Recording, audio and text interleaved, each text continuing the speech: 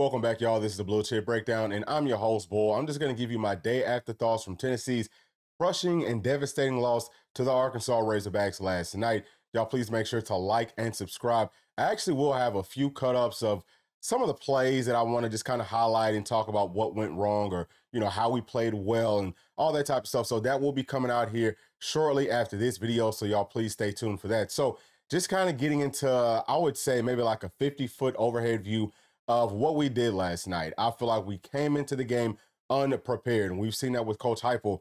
I mean, pretty much since he's been up in Knoxville, and I hoped that this was going to be the season that he could kind of get over that hump, but it hasn't happened just yet. I have no idea what's going on, but as I'm going through the film, and you know, we've got the all 22, so we're seeing different angles, we're seeing everybody, so we have a real understanding of actually what's going on. And I mean, it just looked like we was not prepared for this game on offense defense, special teams, a lot of just head scratching stuff. But I want to get a little bit more into how the players perform, just like how we normally do. So we'll be starting off up front with the offensive line. I think that, you know, as a whole, I mean, they did not play well, but there's a couple of players, um, Andrej Karic and then Cooper Mays. I think they played solid for the most part. Now, it, it was some times, man, with Arkansas's front that, you know, we talked about it all week not a whole lot of twitch there. We didn't think that that power rush was going to be any problem for us, whether we're trying to run or whether we're trying to pass. But it definitely was. Okay, those are some big boys. This is a real SEC front. We haven't seen that up to this point in the season, and it definitely posed some problems to us. But I would say that uh, you know Dre and Coop, both of them played solid. You know, I mean, there were some times when they weren't really getting as much of a push, and really the entire offensive line wasn't a ton of push. You know, it wasn't as much push as we're used to seeing uh, just as far as, you know, that run game, things like that. But man, uh, just in like pass pro, I think that they did a pretty solid job just of understanding who to pick up and at least kind of slowing them down. And I mean, really, there was times when I mean they actually they absolutely stalemated the players that that they were blocking. So outside of that, man, we could talk about. Um, I'm gonna go to John Campbell. John Campbell looks like he's banged up. I mean, he's playing a step too slow. He's getting pushed back. Um, you know, I saw 40 pushing him back a whole lot. Um, you know, there, there was a holding call on him, which I mean, I guess it is holding, but you can call holding on every single play, uh, you know, in football, especially on this level. So I kind of felt like that was a little bit of a ticky tack call. He didn't play horrible, horrible, but he definitely didn't play anywhere near what he's capable of playing like. Um, you know, next we could talk about Lance Heard. I mean, he's way out of shape, and he's so far out of shape that I think that his ceiling is to be the best offensive lineman on this entire team. But how he played last night, I mean, I would have rather have seen maybe not necessarily Dayne Davis, but Larry Johnson. I think Larry Johnson would have played better than Lance Heard did just because he was so far out of shape. And y'all will see this. I'll, I'll show you some of these clips. But I mean, he literally like there was times when he's holding on to, I think it was 40 actually. Uh, he's holding on to 40, and um, you know, 40 just kind of jukes to the inside, comes back to the outside, and Lance Heard just kind of stands there. He just looked like he's extremely out of shape. I'm gonna tell you this personally, okay? I don't think that he needs to be necessarily going to class. We're paying him too much money from what I understand. Now, I don't want to put a uh, dollar amount on it, but from my understanding, he's getting paid way too much money for him to be going to class whenever he's out of shape. His uh, teachers, all that type of stuff. Okay, the school needs to understand he needs some sort of a, a, you know time off so that he can get his butt in shape. That's what he needs to be focusing on. The two or three, you know, four weeks, however long he's had off. I don't know what the hell he's been doing, but he cannot go out and play SEC SEC football if he's going to be that far out of shape that he can't even move. And that's about how it looked. Now, maybe it could also be that his ankle was bothering him. I have no idea. But that product that he put out there last night, that is not going to cut it. He's, you know, he's one of the players that maybe did the worst on the offensive line. Outside of that, man, Spraggins, he played absolutely horrible. Uh, you know, he had a couple of times where he did a pretty decent job, but outside of that, he's getting beat in his, uh, you know, one-on-one coverage. He's, I mean, just missing blitzes. And so some of that I would put maybe on Nico because it does sound like he can check plays at the line of scrimmage. We'll get to him in just a minute. But I would say overall, man, that's on coaching. You know what I'm saying? That's on not being ready for this game, not understanding, uh, you know, the different stunts and twists and blitz packages that this team will bring to us on down and distances, things like that. But also with the play calling, we just did not do ourselves any favors to give Nico enough time on uh, you know, I would say enough plays for us to, you know, really be able to win. Again, whenever I kind of go through some of these uh, some of these clips in the following video, y'all will see what I'm talking about. We left like two or three touchdowns on the board, and just those two or three by themselves. There's more than that, but just those two or three was, I would say, due to the lack of pass protection in this game. And it's not all just on the offensive line, but we'll get through everybody else. So if I had to give the offensive line as a group a grade, but well, actually, before I do that, let me talk about Dayne Davis. On the um, scoring drive that we had in the second half, I want to say that was in the third quarter. Dayne Davis was starting at right tackle, and he played well. He actually looked just as good, maybe even better than John Campbell did. He's blocking 40 the whole time, and 40 looked how he's looked on film in every other game that I've watched, which is every single one of Arkansas's games. He looked mediocre. He was getting no push, things like that. So, you know, again, back to the coaching. Maybe you make the switch right there. I don't know, but he looked good there. I think that's a big part of the reason that we scored on that drive. Either way, all in all, for the offensive line, I can't give him anything better than a solid C. It just, you know, run blocking, again, there wasn't a whole lot of push, but I think that it was good enough just to get us three to four yards. Sometimes we kind of got up to the second level you know, things looked pretty good from that perspective. But the pass protection was pretty much horrendous throughout the entire game. So I'm not going to go any higher than a C for the offensive line. Now let's talk about our running backs. I think just as far as running, like just making plays, they did a really nice job. You know, they were kind of, you know, fighting through tackles. Uh, you know, I think that they did a good job with their eyes, finding those creases. You know, uh, Sam, he had at least one play out. That was like a third down. We'll probably look at that one too. But, you know, he catches the ball, he tries to make something happen. Maybe he tried to do a little bit too much, but you don't blame him for that. At that point in the game, we needed somebody to be that spark plug. He tried to be that. Um, you know, I think the Bishop came in, he ran hard. I mean, you see him just boom, like they're hitting the holes really, really hard. So just as far as running and all that other type of stuff, catching the football, I think that they did a really nice job. But whenever it comes to pass protection, that was sloppy. I mean, it was really bad. So we either did not know who to pick up um, you know, which is bad, which is horrible. Okay. And those people just came completely unblocked on some stunts, on some blitzes. Again, that goes back to coaching, not being ready for all that type of stuff. But also, whenever we did know who to pick up, I mean, we just did not do a, a good job of being physical. Arkansas in this game, y'all, they were the more physical team. Um, and that is, I mean, that's not great, but I do think that Arkansas is a team that's good enough moving forward that maybe, I mean, they might be able to win out uh, you know, for the rest of the season. Maybe now they have that confidence. But we told you coming into this, this is a real SEC team. And in the SEC, especially on the road, you never know what's going to happen. We got Arkansas's best shot. I think that we're going to get every team's best shot for the rest of the season. So we've got to go out and give our best shot and perform at our best. Our running backs didn't do that. Okay, you could throw them into that same group uh, with the with the offensive line.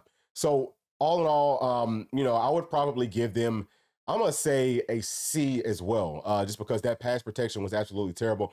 I also want to see us rotate in more bodies at running back. You know, there's a whole lot of things that I feel like this team can do, kind of like how we did uh, versus versus NC State, where we get into that you know tight set with uh, with two tight ends, and you know we just run the ball, run the ball, run. I think that we could have done that and maybe had some more success in this game. But all the talk maybe about man, Nico's got to use his arm and all that maybe this was the wrong game for that, just because we'll get to Nico here in just a minute. But I, I think that maybe we could have done a little bit more of that. Actually, let's go ahead and talk about those tight ends.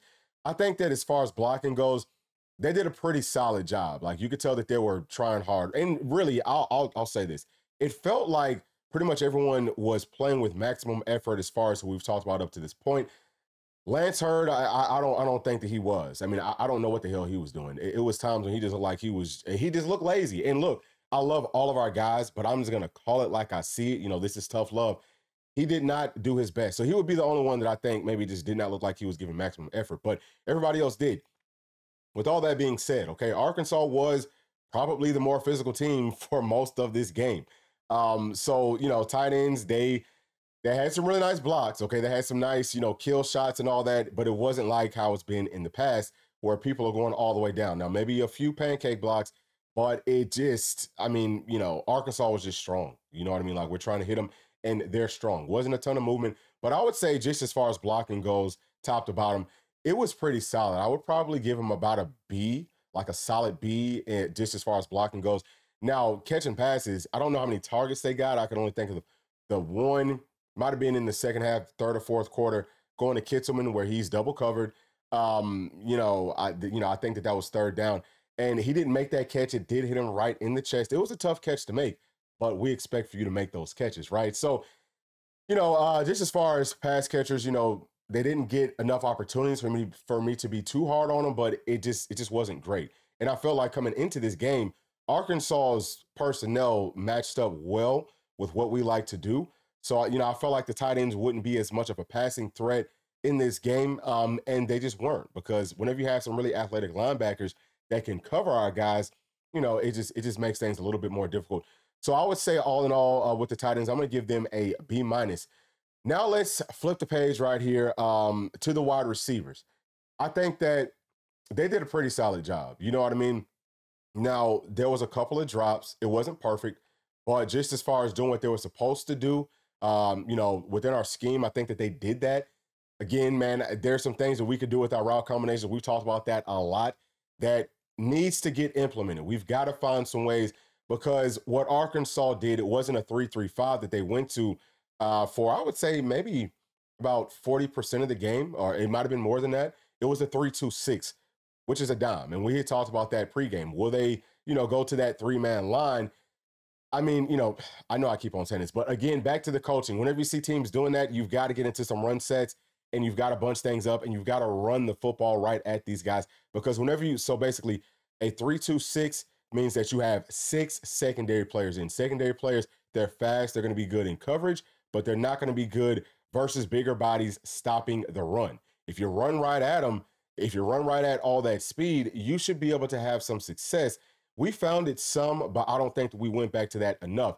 Either way, okay, my whole point talking about that with these wide receivers is we kept on trying to pass the uh, football when you know, I mean, they were dropping eight. It was a lot. It was a whole lot of people in coverage, and you know, if you kind of couple that with the fact that Nico didn't have a whole lot of time to go through all of his reads and things like that, I felt like maybe the wide receivers could have tried to work back towards Nico some more, or just find some ways to get open.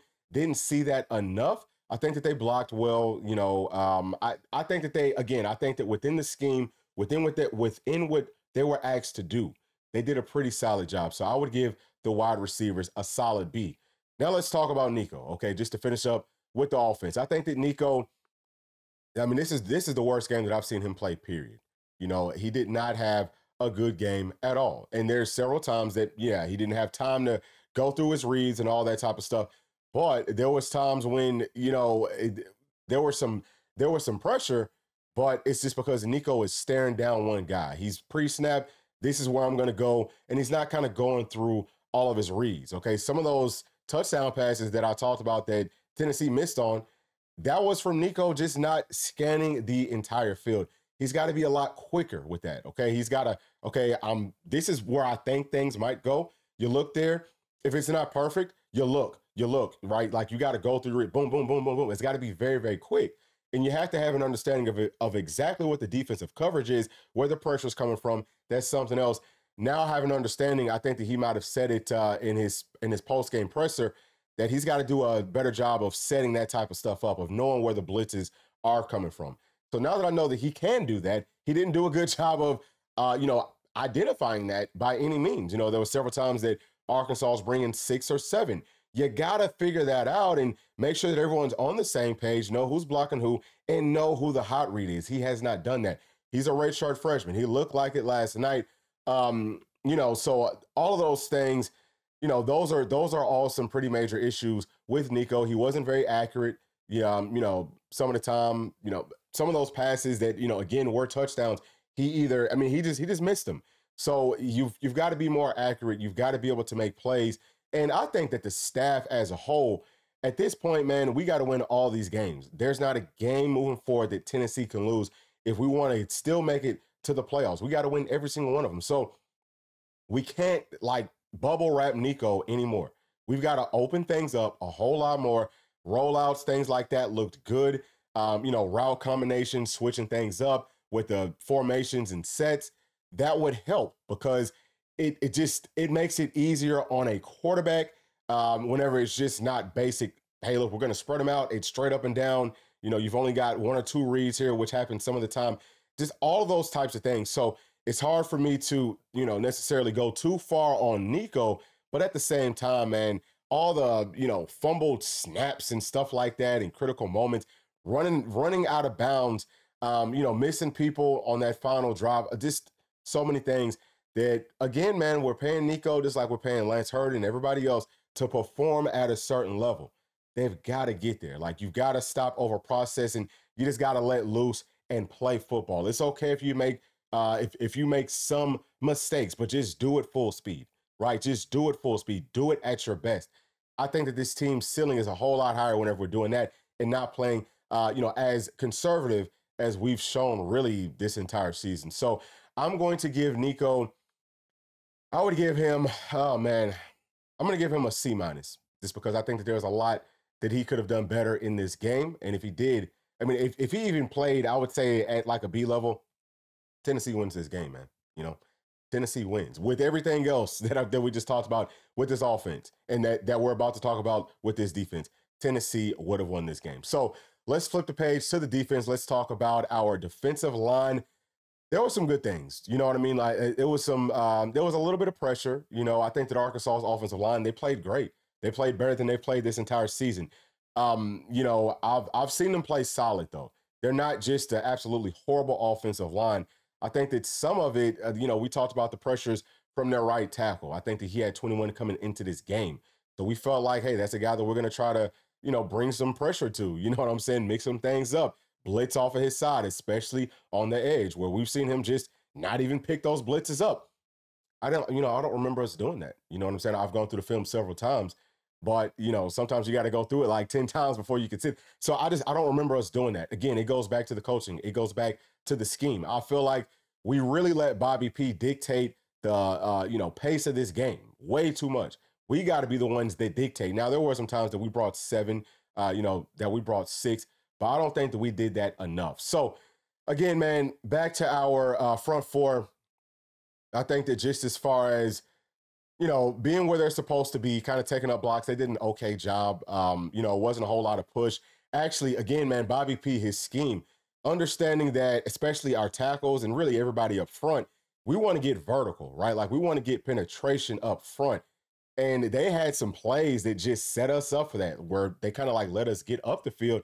And now the offensive line for uh, for Arkansas doesn't have to move us. All they have to do is just wall us off. And there were some nice little creases right there so you can't be too mad, especially at the effort. I think that the effort was there, no doubt. It's just kind of back to sometimes you got to be able to switch up how you play or something. Back to the coaching. So I think that the uh, I think that the front played decent within our scheme. Um, actually, I'll say that they played pretty well within our scheme. Some of our tackles did get moved. Some of them got pancaked. Uh, you know, our our ends for the most part were able to keep uh, keep Taylen Green bottled up, which I know that was probably the main point of emphasis in this game. We did a really nice job of that.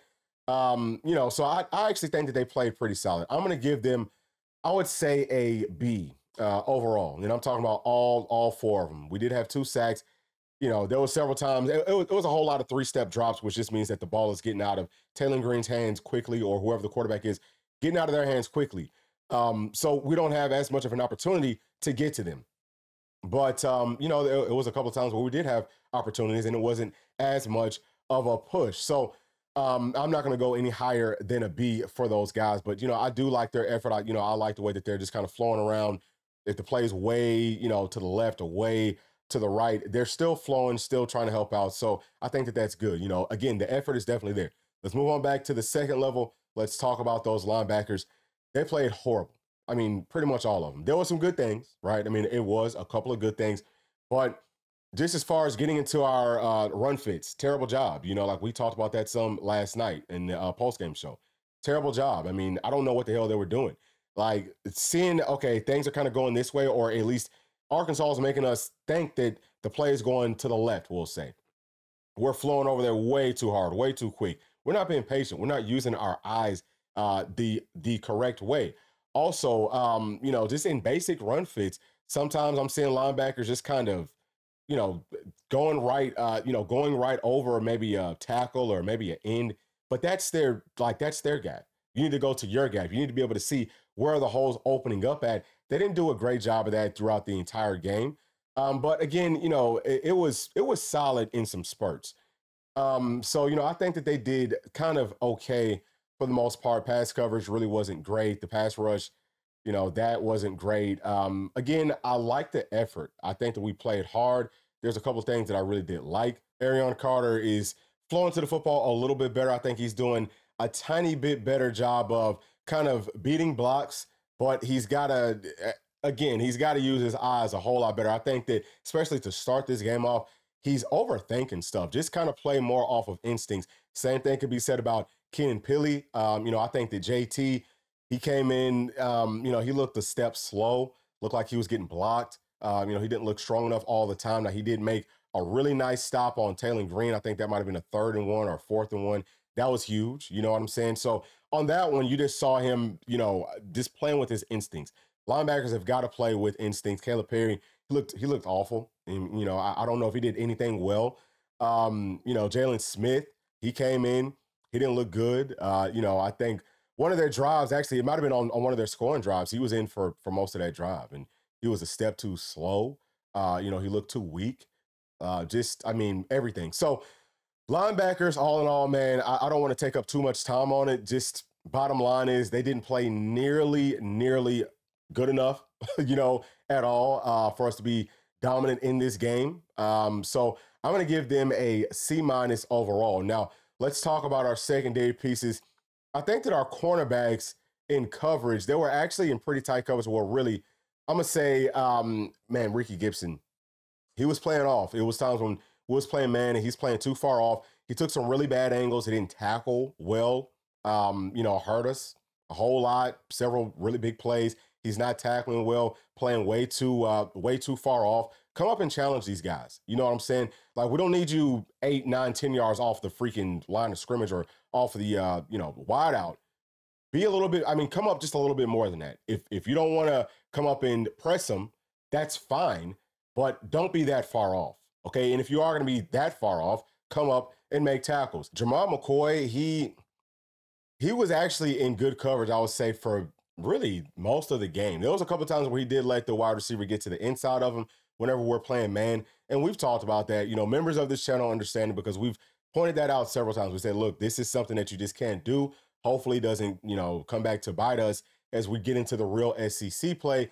And I think that it did, maybe not in a major way, just because that's kind of it's not the easiest thing by any means to stop. But I think that we could have done a little bit better job at stopping some of those inside routes. So he didn't do great there. Um, but just just as far as his pass coverage down the field, he was in he was in a good spot, I would say, for most of the game. Really, all the passes that was called on him, he was in a really good spot. It was a perfect pass. There's nothing that, that and look, perfect offense beats perfect defense 100% of the time. Whenever they do things perfect on offense, you just can't stop it. So it was several passes by Taylen Green where he drops it in a perfect spot, and it was a really good route um, by number two. So I mean, you know, there's not much more that you can do about that. So I'm I'm not going to be too hard on him. I know some people are talking about, well, he needs to kind of turn his head around.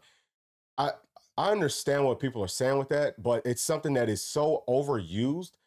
You you have to be in a certain spot playing uh playing cornerback before you can turn around. Because if you're not in that spot and you turn around, now we're talking about, well, you know, maybe they catch the pass and we stop them and it's 20 yards, or it's a it's a touchdown, right? Like you you just can't do that. So that's just that's not very realistic. That is, you know, probably the second most difficult position to play in football for sure. Is one of the most difficult positions to play in all of sports.